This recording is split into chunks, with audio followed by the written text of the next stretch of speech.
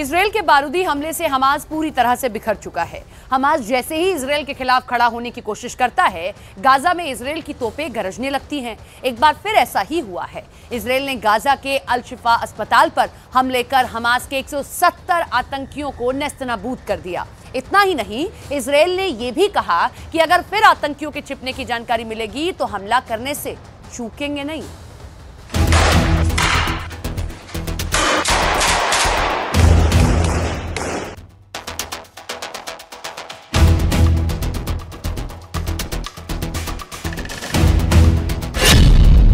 शुक्रवार को इसराइल में अमेरिकी विदेश मंत्री पहुँचे।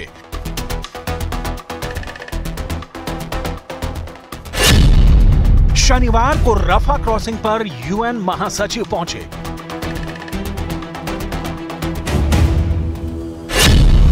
और रविवार आते आते इसराइल ने हमास के 170 आतंकियों को ढेर कर दिया।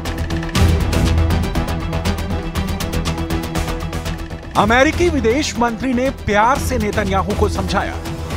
फिर यूएन महासचिव ने खुद रफा क्रॉसिंग पर खड़े होकर इसराइल को थोड़ा चेताया। लेकिन इसराइल टस से मस नहीं हुआ। इसराइल ने अपना मिशन अबॉर्ट नहीं किया। इसराइल ने जो ठाना था वो करके रहा।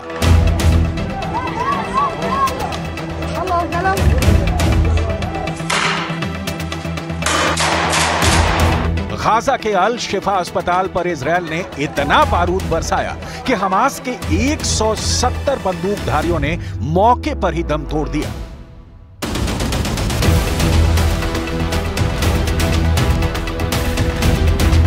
इजरायली सेना के बंदूकों से निकली गोलियों की तड़तड़ाहट से अल शिफा अस्पताल के आसपास का पूरा इलाका गूंजने लगा। अल शिफा अस्पताल के आसपास रहने वाले लोगों का दावा है कि इजरायली सेना ने अस्पताल के आसपास की सड़कों पर दर्जनों घरों और अपार्टमेंटों को निशाना बनाया। पास के एक दूसरे अस्पताल अल हेलो पर भी हमला बोला गया और सड़कों पर बुलडोजर चला दिया। इसराइल के हमलों पर हमास के मीडिया कार्यालय ने कहा कि इसराइली टैंकों ने अल शिफा अस्पताल की कई इमारतों पर हमला किया और सर्जरी विभाग के एक ऑफ़िस में आग लगा दी। वहीं इजरायली सेना ने कहा कि अब तक 350 से अधिक हमास और इस्लामिक जिहाद आतंकवादियों को अस्पताल में हिरासत में लिया गया है और कुल 800 लोगों से पूछताछ की गई। करीब एक हफ़्ते पहले इसराइल ने गाजा के अल्सिफा अस्पताल में सैन्य अभियान शुरू किया था। इसराइल ने दावा किया था कि हमास एक बार फिर से अल सिफा अस्पताल को अपने ठिकाने के तौर पर इस्तेमाल करना चाहता है और अपने मंसूबों को अंजाम तक पहुँचाने के लिए हमास के कुछ आतंकी अल सिफा अस्पताल में पना ले रखे हैं। इसराइल ने भी ये कहा था कि उनका मकसद नागरिकों को नुकसान पहुँचाने की बजाय हमास के आतंकवादियों से मुकाबला करना है।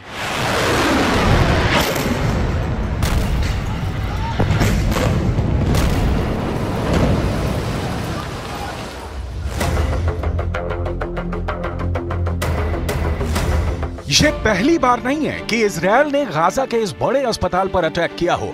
इससे पहले भी टैंकों और अत्याधुनिक हथियारों से इसराइल अल शिफा अस्पताल पर अटैक कर चुका है। इसराइल का अटैक इतना जोरदार था कि अल शिफा का नक्शा बिगड़ चुका था।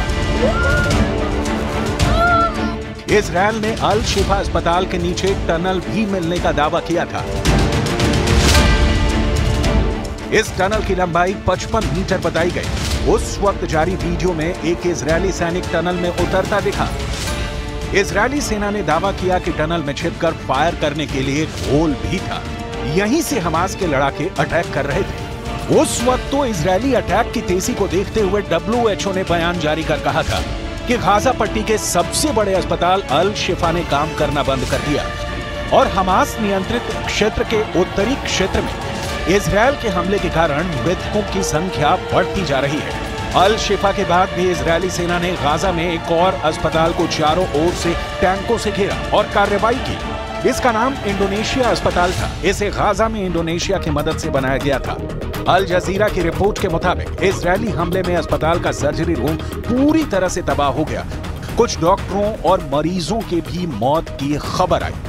और अब एक बार फिर अटैक के बाद इसराइल की आईडीएफ ने फिर कहा कि वो अल शिफा अस्पताल से चल रही आतंकवादी गतिविधियों के खिलाफ कार्रवाई करती रहेगी। इसराइल के सैन्य अभियान पर गाजा के स्वास्थ्य मंत्रालय ने बयान जारी करते हुए दावा किया कि इस हमले में कई फिलिस्तीनियों की जान गई। दावे के मुताबिक 7 अक्टूबर से अब तक हुए इसराइली हमलों में इकतीस से अधिक फिलिस्तीनियों की मौत हो चुकी है। इसराइल एक साथ कई मोर्चों पर हमले कर रहा है। रविवार आधी रात को इसराइल ने उत्तर पूर्वी लेबनान में हिजबुल्ला के ठिकानों पर एयर स्ट्राइक की। मीडिया रिपोर्ट्स के मुताबिक इस हमले में तीन लोगों के घायल होने की खबर है। इसराइल की तरफ़ से यह एयर स्ट्राइक लेबनान के आतंकी संगठन हिजबुल्ला के गढ़ बालबेक में की गई। यह हमला लेबनान के उस हमले का जवाब था जिसमें लेबनान ने दो ड्रोन इस्तेमाल करते हुए इसराइल के कफर ब्लम शहर को निशाना बनाया था। इसराइल के इस हमले के बाद लेबनान की ओर से इसराइल पर करीब 50 रॉकेट दागे गए, जिनमें से कुछ हवा में ही ध्वस्त कर दिए गए और कुछ खुले इलाकों में गिरे। इसराइल हमास वॉर शुरू होने के बाद हिजबुल्ला हमास का साथ दे रहा है। हिजबुल्ला इसराइल की सैन्य चौकियों को निशाना बना रहा है। हमास की ओर से आरोप लगाया गया है कि गाजा शहर में दूसरी जगहों पर कुवैत चौराहों पर कई फिलिस्तीनी मारे गए हैं और घायल हो गए हैं। जब वे सहायता ट्रकों का इंतज़ार कर रहे थे, राफा में जहाँ 10 लाख से अधिक लोग शरण लिए हुए हैं तो वहीं स्वास्थ्य अधिकारियों ने कहा है कि एक घर पर हुए इजरायली हवाई हमले में आठ लोग मारे जा चुके हैं और कई घायल हो गए हैं। इजरायली सेना ने कहा है कि उसने मध्य गाजा और खान यूनिस के दक्षिणी क्षेत्र में हवाई हमलों और करीबी मुठभेड़ में कम से कम 20 बंदूकधारियों को मार गिराया है। अब समझिए कि आखिर क्यों यूएन महासचिव एंटोनियो गोटारेस रफा बॉर्डर पर पहुँचे? और क्यों खुद अमेरिका के विदेश मंत्री को तेल अभी आना पड़ा? इसराइल हमास को किसी भी सूरत में बख्शने के मूड में नहीं है।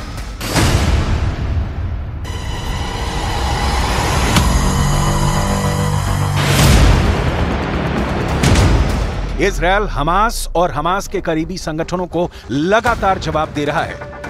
लेकिन मीडिया रिपोर्ट्स के मुताबिक इसराइल की कार्रवाई से गाजा में मानवीय संकट गहरा गया है। फिर भी इसराइल अब रफा में भी बड़ी कार्रवाई की तैयारी कर रहा है। गाजा की आधी से ज़्यादा आबादी ने रफा में शरण ले रखी है। गुटारेस ने रफा क्रॉसिंग से बयान जारी करते हुए कहा कि अब कोई भी हमला हालात को और भी बदतर बना देगा।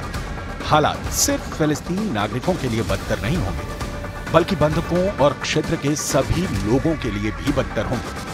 गुटारेस ने संयुक्त राष्ट्र सुरक्षा परिषद में तत्काल संघर्ष विराम के लिए अमेरिकी प्रस्ताव पर सहमति नहीं बनने पर यह बयान जारी किया।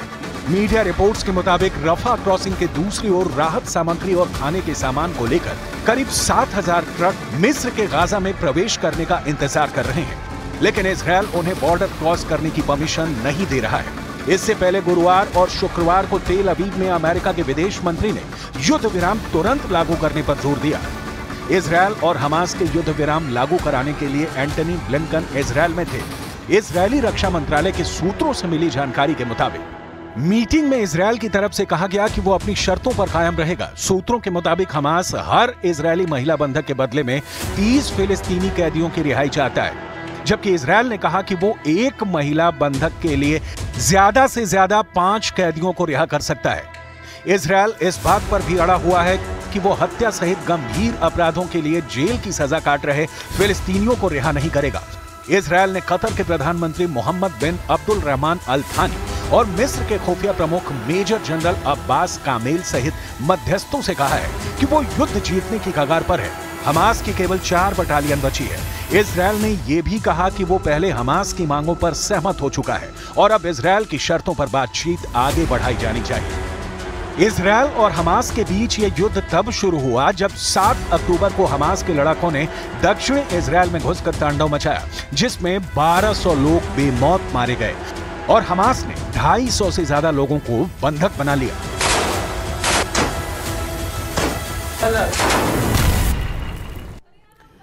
मॉस्को में रूस का झंडा आधा झुका रहा। आतंकी हमले में मारे गए लोगों को श्रद्धांजलि देने वालों का तांता लगा रहा। इस बीच यूक्रेन की टेंशन बढ़ गई है। यूक्रेन ने हवाई हमले का अलर्ट जारी किया है। रूस का कहना है 133 से ज़्यादा लोगों की मौत के गुनहगार जब पकड़े गए हैं, जिनका कनेक्शन यूक्रेन से सामने आया है। यूक्रेन ये कह रहा है कि हमले में उसका कोई हाथ नहीं है। रूस यूक्रेन युद्ध पर मॉस्को के मातम का बड़ा असर होने वाला है।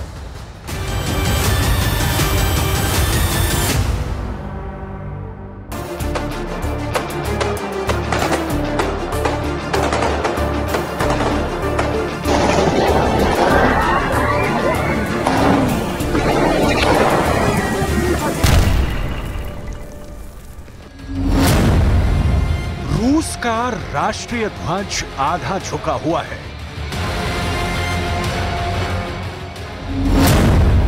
इमरजेंसी गाड़ियाँ मॉस्को की सड़कों पर बिछी लाशों को हटा रही हैं।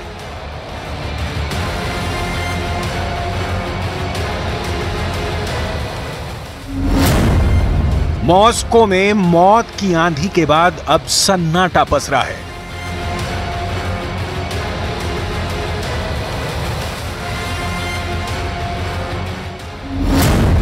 आतंकियों ने जिन लोगों को मौत के घाट उतार दिया, उन्हें श्रद्धांजलि के फूल चढ़ाए जा रहे हैं।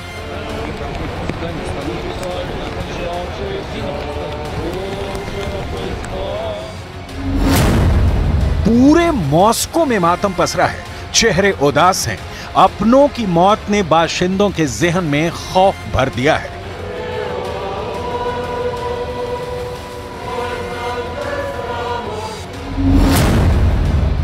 मॉस्को में आतंकी हमले के बाद क्रोकस हॉल खंडहर में बदल चुका है।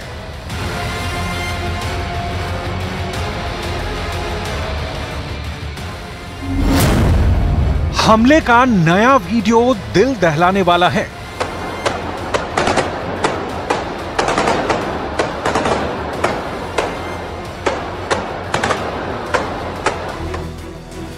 कॉन्सर्ट हॉल में गोलीबारी करने के साथ ही आतंकियों ने पेट्रोल डालकर हॉल में आग लगा दी थी, जिसमें कुछ लोगों की मौत गोली लगने से हुई है। तो कुछ लोगों ने आग की चपेट में आने से दम तोड़ दिया। 28 शव शौचालय में मिले और 14 शव सीढ़ियों पर, जिनमें महिलाएँ और मासूम बच्चे भी शामिल हैं। Проводится осмотр помещений концертного зала и изъятие вещественных доказательств. Изучаются записи с камер видеонаблюдения. Ведется работа с потерпевшими. Назначены и проводятся баллистическая, генетическая и дактилоскопическая экспертизы по вещественным доказательствам, оставленным террористами на месте преступления. मॉस्को में हुए आतंकी हमले में 133 से ज़्यादा लोगों की मौत हो गई। करीब 107 लोग गंभीर रूप से जख्मी हैं। भारत, अमेरिका समेत दुनिया भर के देशों ने कड़ी निंदा की है। आतंकी संगठन आईसिस ने इस कायराना हमले की ज़िम्मेदारी ली है। पुलिस ने इस मामले में 11 लोगों को हिरासत में लिया है, जिनमें चार वो लोग शामिल हैं जिन्होंने हॉल में अंधाधुंध फायरिंग की थी। रूस की फेडरल सिक्योरिटी सर्विस, यानी एफएसबी के मुताबिक, हमलावरों का यूक्रेन के साथ संपर्क था। रूस की मीडिया में हमलावरों की तस्वीरें जारी की गईं और दावा किया गया कि ये लोग रशियन नहीं, कोई विदेशी भाषा बोल रहे थे। रूसी अधिकारियों ने दावा किया है कि हमलावरों को यूक्रेन से मदद मिली थी। रूस का दावा है कि पकड़े गए चार आतंकियों में से दो ने पूछताछ के दौरान माना। कि उन्हें एक मिलियन रूबल, यानी दस हज़ार आठ सौ छत्तीस डॉलर दिए जाने का वादा किया गया था। हमला कहाँ करना है? इसकी जानकारी उन्हें टेलीग्राम के ज़रिए मिली थी। तलाशी के दौरान कार से ताजिकिस्तान का पासपोर्ट भी मिला है। रूस का कहना है कि आतंकियों के लिए सीमा पर यूक्रेन की तरफ़ से एक खिड़की तैयार की गई थी। एफएसबी सुरक्षा सेवा के मुताबिक आतंकी यूक्रेन के संपर्क में थे और वहां भागने की फिराक में थे लेकिन सीमा पार करने से पहले ही उन्हें पकड़ लिया गया जबकि यूक्रेन ने बयान जारी कर साफ कर दिया था कि इस हमले से उसका कोई भी लेना देना नहीं है тисяч росіян, які зараз вбивають на українській землі, точно вистачило би, щоб зупинити будь-яких терористів. І якщо росіяни готові мовчки вмирати в крокусах Та не ставити жодних питань своїм спецслужбам, то Путін ще не одну таку ситуацію спробує повернути на користь своїй особистій владі. Терористи завжди повинні програвати. अमेरिका का कहना है कि उस हमले में यूक्रेन का कोई हाथ नहीं था। इस अटैक की ज़िम्मेदारी आईएसआईएस ने ली है। अमेरिका ने कहा है कि वो हफ़्ते भर पहले ही रूस को सतर्क रहने की एडवाइजरी जारी कर चुका था। ये ध्यान देने वाली बात है कि रूस ने अभी तक इस्लामिक स्टेट के दावों पर कोई टिप्पणी नहीं की है। लेकिन सच ये भी है कि आईएसआईएस पुतिन का अरसे से बड़ा विरोध करता रहा है। हालाँकि ये पहली बार नहीं है जब इस्लामिक स्टेट ने रूस जैसे शक्तिशाली देश को निशाना बनाया हो। रूस के हाल के कुछ सबसे बड़े आतंकी हमलों में आईएसआईएस शामिल रहा है। 2015 में आईसिस ने रूस के विमान पर हमला किया। इस हमले में 224 यात्रियों की मौत हो गई। 2017 में सेंट पीटर्सबर्ग मेट्रो में बम विस्फोट किया, जिसमें 15 लोगों की मौत हो गई। और अब कॉन्सर्ट हॉल में गोलीबारी कर 133 लोगों को मौत के घाट उतार दिया।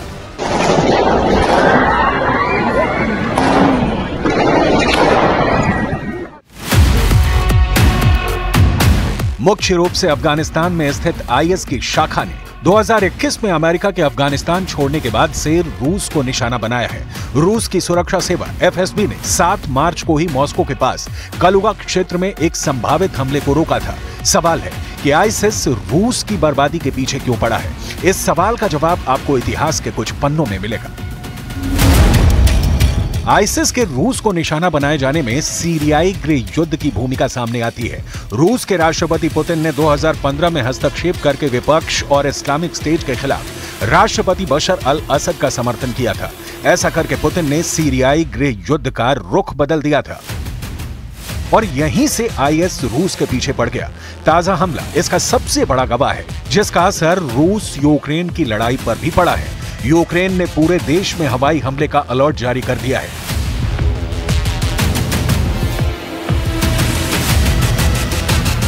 अभी पाँच दिन पहले ही पांचवी बार रूस की बागडोर संभालने वाले पुतिन के लिए यह हमला उनकी सरकार को झकझोर देने वाला है। हमले के बाद राष्ट्रपति पुतिन ने हमले के सभी अपराधियों और आयोजकों को सजा देने की कसम खाई।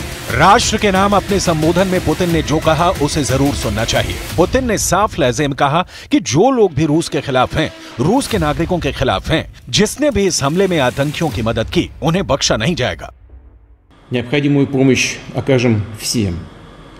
Семьям, в чью жизнь пришла страшная беда. Раненым и пострадавшим. Выражаю глубокие, искренние соболезнования всем, кто потерял своих родных и близких. Вместе с вами скорбит вся страна, весь наш народ. 24 марта объявляю днем общенационального траура. इस्लामिक स्टेट खुरासान प्रोविंस, यानी आईएसकेपी का गठन 2015 में हुआ था। यह Islamic State for Iraq and Syria ISIS की एक ब्रांच है, जिसे आईएस या दाएश भी कहते हैं। आईएसकेपी के बनने की कहानी तहरीक तालिबान यानी पाकिस्तान टीटीपी में हुई भूट से जुड़ी है। मंजर भयावह है। रूस दर्द से करा रहा है। 2004 में भी रूस के बेस्लान स्कूल में ऐसा ही हमला किया गया था और पुतिन ने उस वक्त भी कठोर एक्शन लिया था। दुनिया ने देखा था कि रूस आतंकियों से निपटने में कितना सक्षम है। लेकिन यहाँ तार अगर यूक्रेन से जुड़े मिले और इसकी पुष्टि होती है तो खामियाजा जेलेंस्की को भुगतना होगा। युद्ध के दो सालों में यूक्रेन ड्रोन से हमले करता रहा। लेकिन अगर उसने आईएस के आतंकियों की मदद की है तो फिर पुतिन के पास दुनिया को बताने के लिए बहुत कुछ है। अमेरिका को खामोश करने के लिए बहुत कुछ है, क्योंकि पुतिन की छवि कहती है कि जब तक तोड़ेंगे नहीं, तब तक छोड़ेंगे नहीं।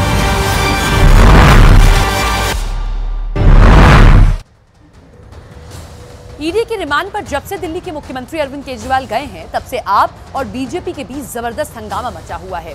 बीजेपी, जहाँ केजरीवाल का इस्तीफा मांग रही है तो वहीं दूसरी तरफ़ आम आदमी पार्टी ऐलान कर रही है कि केजरीवाल जेल से ही दिल्ली सरकार चला सकते हैं। इस दावे ने उस वक्त तूल पकड़ लिया जब दिल्ली सरकार में मंत्री आतिशी ने एक चिट्ठी से दावा किया कि सीएम केजरीवाल ने जेल से दिल्ली में पानी सप्लाई को लेकर एक सीधा आदेश उन्हें दिया है। इस दावे के बाद से दिल्ली की सियासत में कोहराम मचना शुरू हो गया है।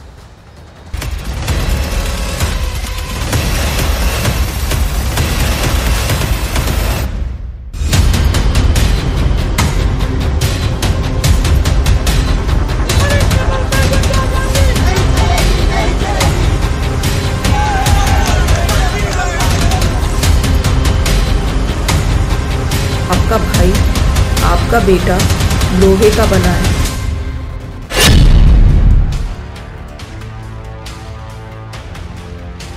सौ करोड़ के शराब घोटाले ने दिल्ली सरकार को उस दौर में पहुँचा दिया है, जहाँ अब केजरीवाल ईडी की कस्टडी में जेल से सरकार चलाने को मजबूर हो गए हैं। आप इन तीन तस्वीरों से समझिए। इस वक्त दिल्ली में चल क्या रहा है? पहली तस्वीर में दिल्ली सरकार में मंत्री आदर्शी दावा कर रही हैं कि सीएम केजरीवाल ने दिल्ली में होली के मौके पर पानी की सप्लाई सही तरह से बनी रहे, इसे लेकर केजरीवाल ने जेल से पहला आदेश उन्हें दिया है। दूसरी तस्वीर मुख्यमंत्री अरविंद केजरीवाल की है, जो इस वक्त ईडी की रिमांड पर हैं और उनसे लगातार पूछताछ हो रही है। 28 मार्च तक केजरीवाल ईडी की रिमांड पर रहेंगे। जबकि तीसरी तस्वीर में बीजेपी के नेता जेल से सरकार चलाने का दावा करने वाले आप नेताओं पर भड़क रहे हैं और इसे दिल्ली सरकार की ड्रामेबाजी बता रहे हैं। सौ करोड़ के शराब घोटाले को लेकर दिल्ली में ज़बरदस्त गदर मचा हुआ है। बीजेपी केजरीवाल सरकार के खिलाफ प्रदर्शन कर रही है तो वहीं आप केजरीवाल की गिरफ्तारी और डिमांड को लेकर केंद्र सरकार की तानाशाही बता रही है। आप ये भी जान लीजिए कि क्या वाकई में जेल से सरकार चलाना केजरीवाल के लिए आसान रहेगा? क्योंकि इसमें कई ऐसे पेज हैं जो वाकई केजरीवाल के लिए बड़ी चुनौती साबित होंगे।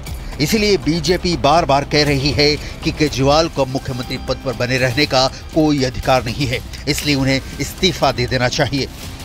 इंडी अलायंस नहीं, मैं इनको कहूँगा ईडी अलायंस। इंडी अलायंस नहीं, मैं इनको कहूँगा सीबीआई अलायंस। मैं कहूँगा करप्शन के लोग जो जेल पर हैं, जो बेल पर हैं, उनका अलायंस। एक बात बहुत स्पष्ट है इंडी अलायंस का पर्पस ये था, मैं बार बार कहता था जेल और बेल से बचना। आज स्पष्ट हो गया, इसी इंडी अलायंस की कांग्रेस ने अरविंद केजरीवाल जी के खिलाफ कंप्लेंट करके कहा था, इन पे कार्रवाई करो। आज जब से अरविंद केजरीवाल जी की गिरफ्तारी हुई है, न सिर्फ़ आम लोग, बल्कि पूरा विपक्ष एकजुट होकर के इस तानाशाही के खिलाफ खड़ा हुआ है। के अंदर एक तरफ़ तो मुख्यमंत्री को इन्होंने गिरफ़्तार कर लिया और दूसरी तरफ़ पूरे दिल्ली को इन्होंने छावनी में तब्दील कर दिया। रात में मुख्यमंत्री जी की गिरफ्तारी हुई। जो भी विधायक चुने हुए विधायक पहुँचे, उनको उठा लिया गया, गिरफ़्तार कर लिया गया। अगर मुख्यमंत्री सरेआम गिरफ़्तार हो सकता है तो इस देश के अंदर कौन अपनी आवाज़ उठा सकता है? अगर इतनी पुरानी पार्टी का खाता सील हो सकता है, हर व्यापारी जो इनको चंदा नहीं देगा, ज़बरदस्ती उसका खाता सील होगा। सवाल है, क्या कोई सीएम जेल से सरकार चला सकता है?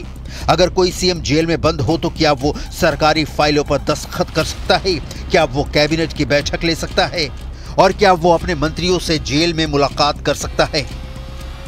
शर्मनाक कृत्य करके जो जेल गया है, वो जेल से सरकार चला रहा है। ये देश की जनता को दिख गया अरविंद केजरीवाल जी का असली चेहरा, उनकी भ्रष्ट सोच, और केवल पैसा कमाने वो राजनीति में आए थे, अपनी जेब भरने आए थे। जब एनजीओ चला के जेबें भर के दिल नहीं भरा तो भ्रष्टाचार करके एक के बाद स्वास्थ्य मंत्री, शराब मंत्री, शिक्षा मंत्री सब जेल में है। सांसद से लेके उप मुख्यमंत्री और मुख्यमंत्री जिसके जेल में हो, वो कैसी सरकार चलाते होंगे? दिल्ली की जनता ठगी हुई महसूस कर रही है। अब भारत नहीं, पूरे विश्व में एक एक देश एक एक आदमी जान गया है कि भारत की, भारतीय जनता पार्टी की सरकार अब सारे विपक्ष को निपटाने में, जेल में डालने में लग गई है। विपक्ष जो जनता की आवाज़ उठाता था, जनता के सवाल उठाता था, उसको रोका जाएगा। जेल में बंद एक सीएम क्या क्या कर सकता है और क्या नहीं? ये सवाल अरविंद केजरीवाल की गिरफ्तारी के बाद हर किसी के मन में घूम रहा है। तो चलिए देश के संविधान में और कानून की किताब में इन सवालों के जवाब ढूंढते हैं। जेल से सरकार चलाना कितना प्रैक्टिकल होगा, ये जेल के नियमों से लेकर जेल प्रशासन की इजाज़त पर निर्भर करता है। क्या सीएम केजरीवाल जेल से वीडियो कॉन्फ्रेंसिंग के ज़रिए या सभी मंत्रियों को बुलाकर कैबिनेट मीटिंग कर सकते हैं? फाइलों पर दस्तखत कर सकते हैं। ये पूरी तरह से जेल प्रशासन की मंजूरी पर निर्भर करता है। बिना जेल प्रशासन की मंजूरी के सीएम केजरीवाल कैबिनेट मीटिंग नहीं कर पाएँगे। यानी कि अगर अरविंद केजरीवाल सीएम पद से इस्तीफा नहीं देते हैं और जेल से ही सरकार चलाने की मंशा रखते हैं तो इसमें जेल प्रशासन की बहुत बड़ी भूमिका होगी। डेफिनेटली कोई फ़र्स्ट ये कोई पहली मरतबा नहीं हुआ। आपके सामने झारखंड के हुए हैं। पहले भी हुआ है, लेकिन लालू जी हुए हैं। लेकिन, गिरफ्तारी होना अगर किसी के खिलाफ ऑफेंस है, कोई अबाबती लॉ तो है नहीं। चाहे एक्स प्राइम मिनिस्टर हुए हैं, आपके सामने इंदिरा जी हुई हैं, नरसिम्हा राव जी पर केस चले हैं तो कोई ये बड़ी बात नहीं है और कोई नई बात नहीं दिल्ली सरकार के मंत्री और आपके नेता दावा कर रहे हैं कि केजरीवाल पूरी तरह से जेल से सरकार चलाने को तैयार हैं। यही वजह है कि जब दिल्ली सरकार में मंत्री आतिश्री ने केजरीवाल के ऑर्डर वाले पत्र को पढ़कर मीडिया के सामने सुनाया तो सवाल उठने लगे कि क्या केजरीवाल ने जेल से सरकार चलाना शुरू कर दिया है? क्योंकि दिल्ली सरकार में मंत्री आतिशी के मुताबिक केजरीवाल ने होली के मद्देनजर दिल्ली में पानी की सप्लाई की कोई कमी न रहे, इसे लेकर जेल से अपना पहला ऑर्डर मंत्री आतिशी को दिया है। जरा देखिए केजरीवाल के पहले ऑर्डर में क्या लिखा है। मुझे पता चला है कि दिल्ली के कुछ इलाकों में पानी और सीवर की काफ़ी समस्याएँ हो रही हैं। इसे लेकर मैं चिंतित हूँ। चूँकि मैं जेल में हूँ, इस वजह से लोगों को जरा भी तकलीफ़ नहीं होनी चाहिए। गर्मियाँ भी आ रही हैं, जहाँ पानी की कमी है। वहाँ उचित संख्या में टैंकरों का इंतज़ाम कीजिए। मुख्य सचिव समेत अन्य अधिकारियों को उचित आदेश दीजिए, ताकि जनता को किसी तरह की परेशानी ना हो। जनता की समस्याओं का तुरंत और समुचित समाधान होना चाहिए। ज़रूरत पड़ने पर उपराज्यपाल महोदय का भी सहयोग लें, वे भी आपकी मदद ज़रूर करेंगे।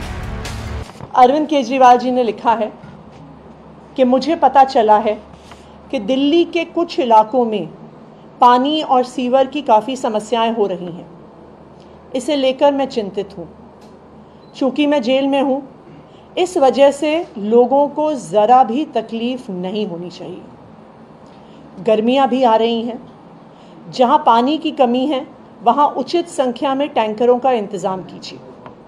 मुख्य सचिव समेत अन्य अधिकारियों को उचित आदेश दीजिए ताकि जनता को किसी तरह की परेशानी ना हो।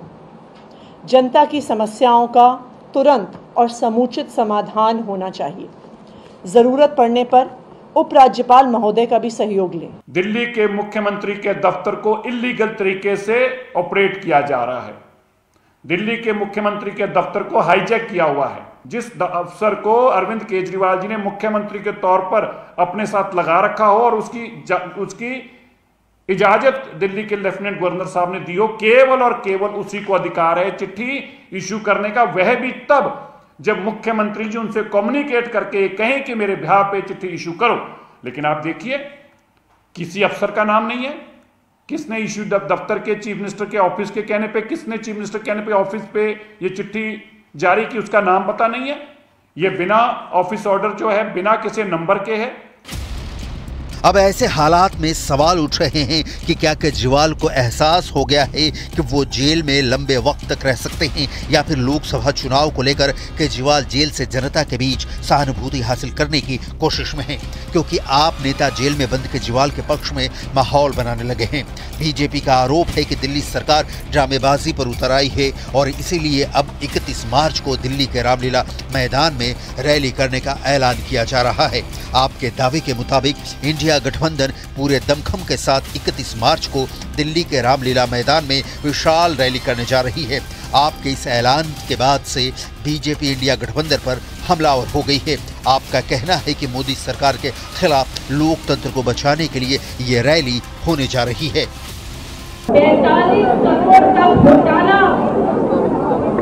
स्वयं अरविंद केजरीवाल कैसे किन शराब घोटाले के मास्टरमाइंड हैं।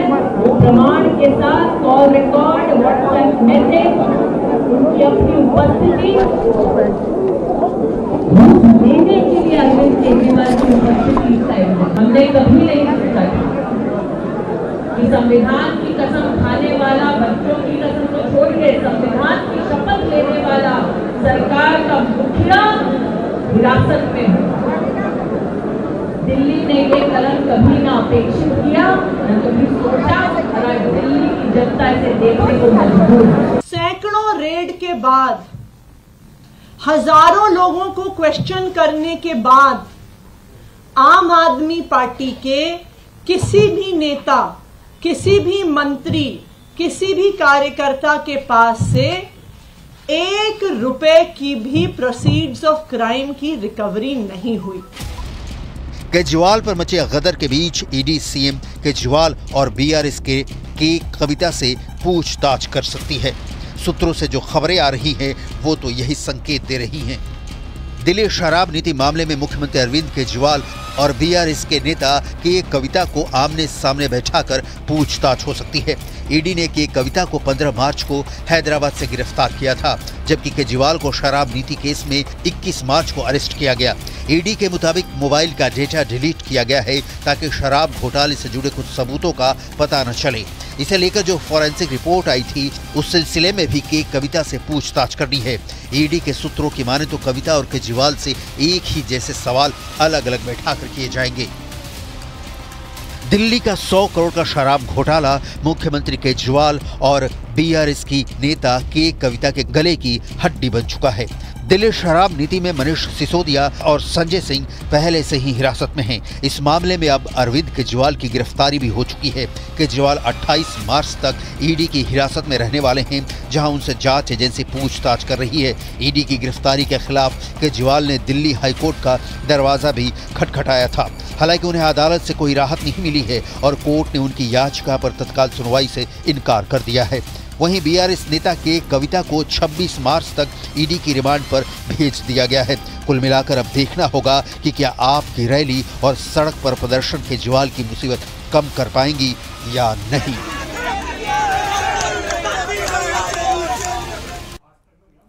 और बिहार के अंदर सीटों को लेकर गठबंधन के बीच फंसा पेच, सुलझता नहीं दिख रहा है। बेगूसराय की सीट पर विवाद थमा भी नहीं था कि अब पूर्णिया की सीट पर पप्पू यादव ने जंग छेड़ दी है। पप्पू यादव ने साफ़ कह दिया है, चाहे जान रहे या न रहे, लेकिन चुनाव तो पूर्णिया से ही लड़ेंगे।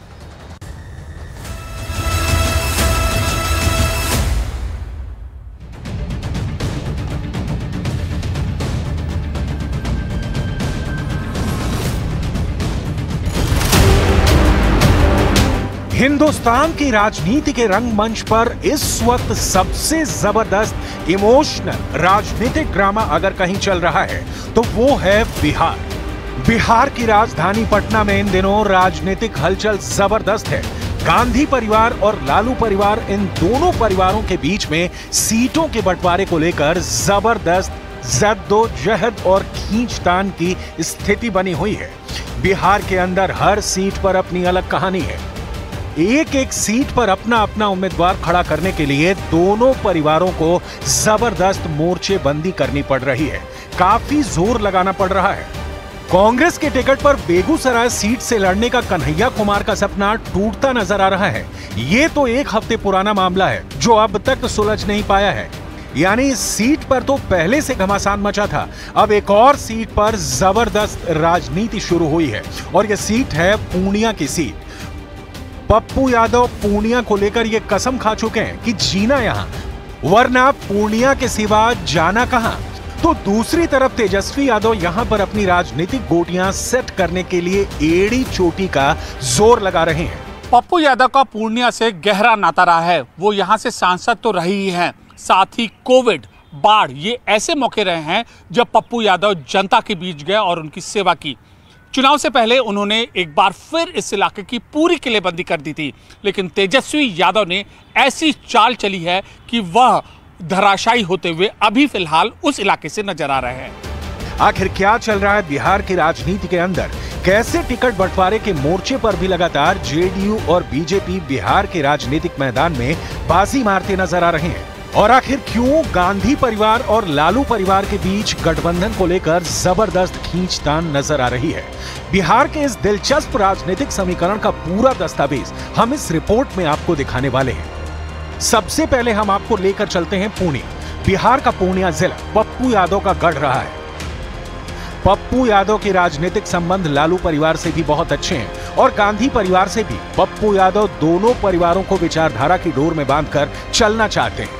लेकिन पूर्णिया की सीट छीन लिए जाने की आशंका से ही वो बेचैन है। घी कहाँ गिरा तो दाल में, दाल कहाँ गिरा तो घी में।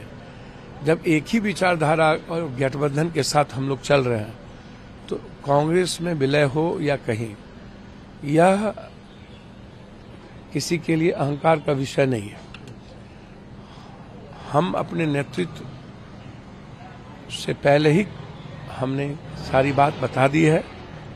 और मैं आज भी कह रहा हूँ, मैंने कल ट्वीट भी कर दिया है कि पूर्णिया दुनिया छोड़ देंगे, पूर्णिया ना छोड़। यहाँ सबसे पहले ये जानना ज़रूरी है कि आखिर पप्पू यादव की राजनीतिक हस्ती क्या है। पप्पू यादव देश के उन गिने चुने नेताओं में से एक हैं, जिनका किसी एक इलाके की जनता का प्रतिनिधित्व संसद के अंदर लगातार करने का मौका मिला है। और इसीलिए सीमांचल और पूर्णिया के इन इलाकों में उनको ताकतवर राजनेता माना जाता है।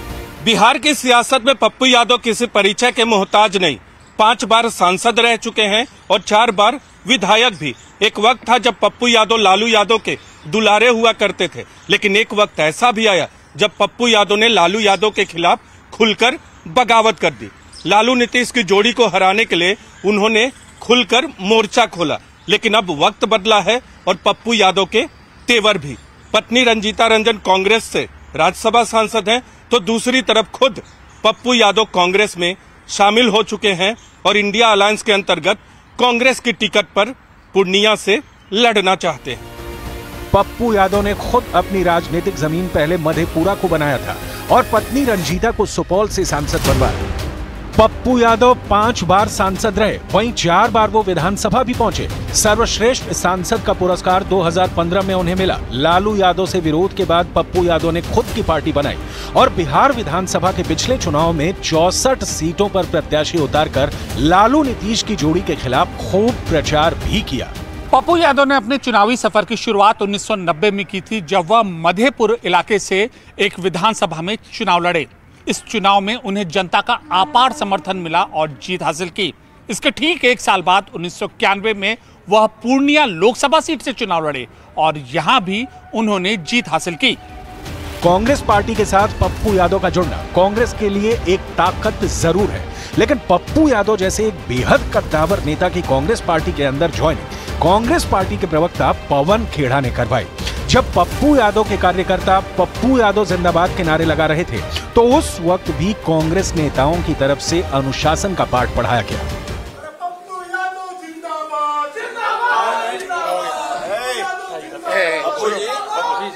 पप्पू जी ये नहीं चलता है। ना। पप्पू यादव की राजनीतिक ताकत बिहार के कई इलाकों के अंदर इतनी ज़्यादा थी कि उन्होंने अपनी पार्टी भी चलाई। लेकिन बाद में उन्होंने कांग्रेस पार्टी के अंदर पार्टी का विलय करने का फैसला इसलिए किया क्योंकि उनका कहना है कि वो गांधी परिवार और खासकर सोनिया गांधी का बहुत सम्मान करते हैं। कांग्रेस हमेशा कुर्बानी दी है। इतिहास उठा के देखिए वैसे भी कल जब अंग्रेज़ थे तो एक गांधी थे। आज नए अंग्रेज़ हैं बीजेपी। यहाँ एक रियल संत राहुल गांधी और त्यागी। एक ऐसे पुरुष जिनका दूर दूर तक सत्ता से और कुर्सी से कोई मत, मोह नहीं। तो ऐसे समय में कांग्रेस हमेशा अपने साथियों के साथ सम्मान पूर्वक व्यवहार करती है। जैसे ममता जी के साथ आज भी सोनिया गांधी जी हो या वह परिवार हो या कांग्रेस हो, निश्चित रूप से सम्मान पूर्वक व्यवहार करती है। तो कांग्रेस दरअसल कांग्रेस पार्टी ये चाहती है कि पप्पू यादव बिहार की पूर्णिया सीट से ही लोकसभा चुनाव लड़े, क्योंकि ये पप्पू यादव का गढ़ भी है। लेकिन लालू यादव ने पप्पू यादव के लिए अलग प्लान तैयार कर रखा था।